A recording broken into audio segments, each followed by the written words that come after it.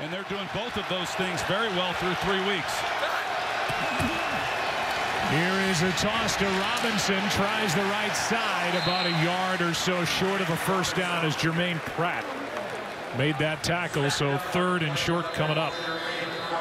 Well, third and short. We've got a man down on the field. That's DJ Chark.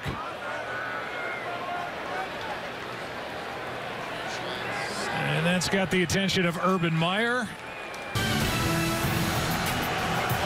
Well, a left leg injury for DJ Chark, who got rolled up on or pinned underneath the big body of Jawaan Taylor on the outside there. And knee, ankle, foot, whatever it is, having to get carted off.